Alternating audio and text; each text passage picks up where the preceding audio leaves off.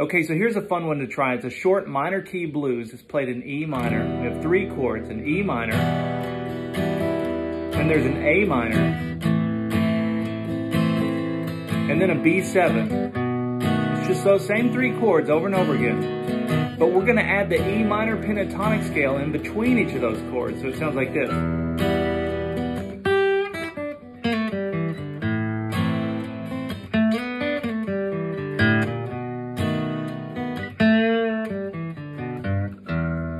Short and sweet.